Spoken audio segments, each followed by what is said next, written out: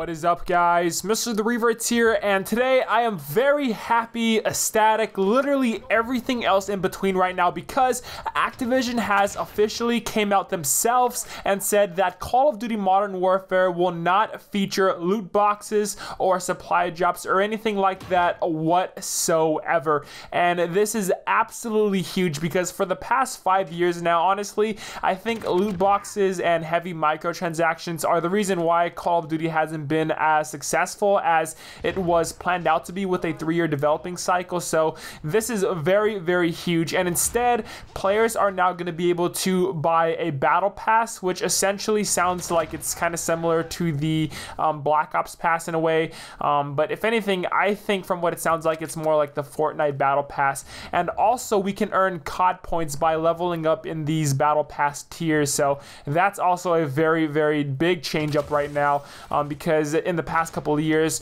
the only way to earn COD points is, of course, by spending your own hard earned money on them. But now, by playing the game, you can earn COD points and, of course, all the items that are available in the Battle Pass. Very, very huge stuff here, guys. Now, there are going to be two versions of the Battle Pass. One is going to be free for all players, and then the other is going to be a premium stream.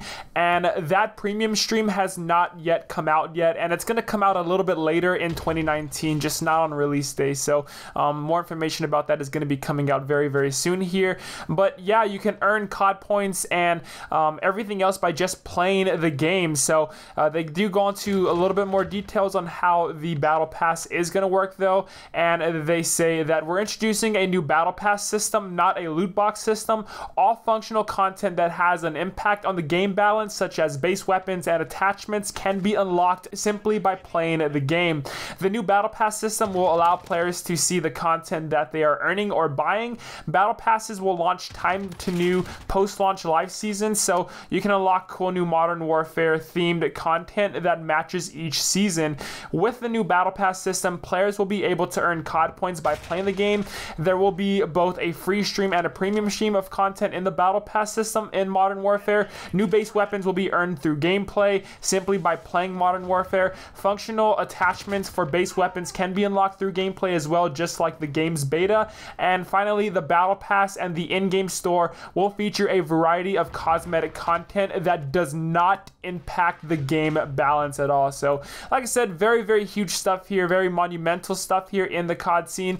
And if I'm going to be honest, I think the reason why Activision decided to um, pull through with this decision is because, for one, you know, the main complaint for years now is that Call of Duty has been heavily plagued by micros. It's uh, putting this bad stain, this bad image on Call of Duty. And I mean, if it were to be headed down the same path, honestly, I don't think COD would have lasted for maybe another two more years, if that. Um, so they are changing up their um, model here for in-game content. Plus, also, I think with the current legislators pushing to ban loot boxes in video games, I think Activision just does not want to take a chance with that kind of stuff. So they're completely changing up their model from now on and until the very near future. So very, very huge stuff here, guys, like I said. And I am very, very ecstatic to hear this. Now, I think we all do got to give credit for Activision for actually listening to the fans because I feel like for a really, really long time now, Activision just really wasn't coherent with the main complaint for Call of Duty fans. Like, for example, with Black Ops 4, like everybody kept complaining and complaining that the black market and the reserve system was just so, so unfair to the consumer. And now I think all that backlash and everything that uh, the fans fans have been leaving to Activision, they're finally listening to us. And Activision, like I said, just a huge round of applause to you guys. Thank you all so, so much for listening.